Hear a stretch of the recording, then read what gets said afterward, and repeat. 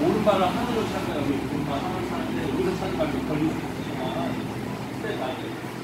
이 다리가 여기 밀어요. 이무릎을 이모, 다음, 사고 이렇게 가지고 해서 다리 부분을 이거 딱 붙여요. 무릎이랑 만나게 오른발을 이 무릎에 차요. 정강이로. 이거 따라가. 오른발 따라가. 따라가고 나서 이거 차, 찾다가 이거 밀어주고 옆으로 들어가서 다리 부분을